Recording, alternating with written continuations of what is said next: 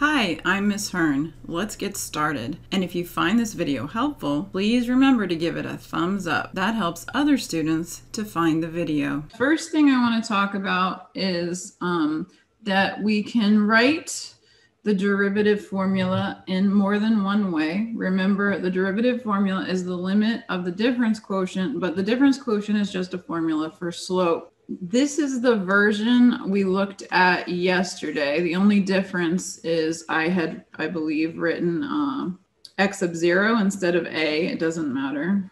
Okay, these are the same thing. We're just using a different variable for the, the point a. An alternative to that is to leave it closer to the normal y2 minus y1 over x2 minus x1 format except in function notation, which would be f of x2 minus f of x1 over x2 minus x1. I'm going to think of the slope in this format.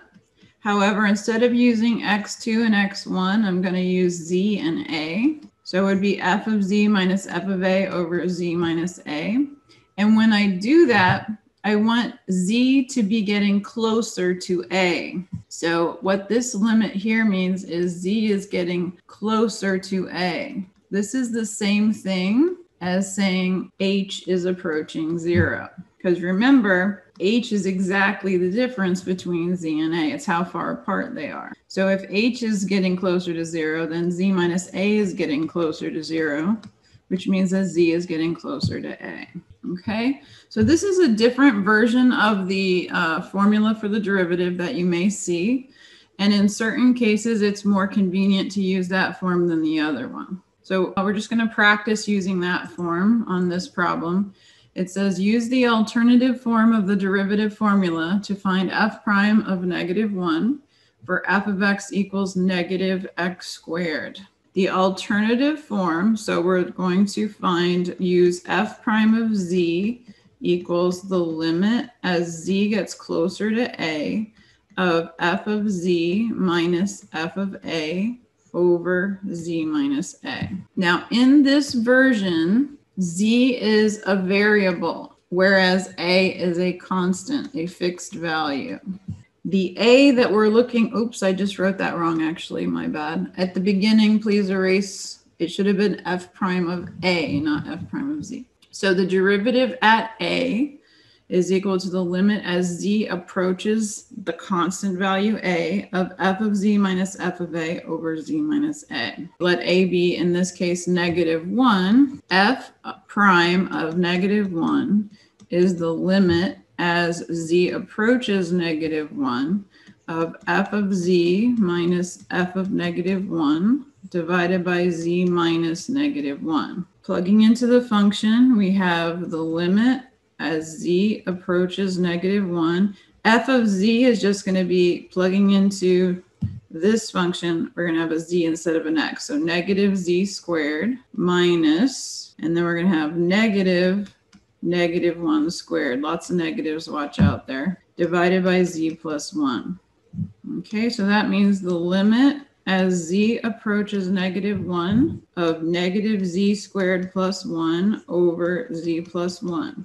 As usual, we would like to plug in the negative 1, but we notice that if you plug in down here, we're going to get a 0, and the same thing's going to happen up here. We're going to get a 0 as well. All right, so how can we deal with that?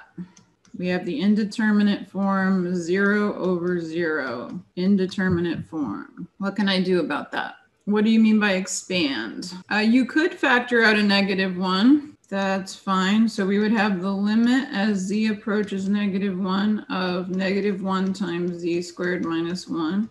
And why did you want to do that? So you can factor the top more easily. So that's going to give you the limit as z approaches negative 1 of negative 1 times z plus 1 times z minus 1 over z plus 1. And then z plus 1 divided by z plus 1 is just 1. So we can uh, say the limit as z approaches negative 1 of, let's go ahead and distribute that back in, negative z plus 1. And now we can plug in. So we have the opposite of negative 1 plus 1, so that's going to be 2. Okay, I want you to look at your paper right now if you've been taking notes and just make sure that your work looks like this. Check to make sure, for example, you wrote the limit as z approaches negative one each time up until the point where you plugged in. All right, so now here's a question for you. We're saying that the slope of this function at the x value negative one is a positive two. Does that seem reasonable to you for the function f of x equals negative x squared, since that is a function that we're, you know, pretty familiar with? Let's go ahead and draw a picture. So negative x squared, just a rough graph. It's going to look something like this. So the slope of the tangent line here, okay? So if nothing else, I can tell that it would have a positive slope without even going into any detail, that seems like it's uh, it would make sense for it to be some positive number. If you found this video helpful, please give it a thumbs up. That will help other students to find the video.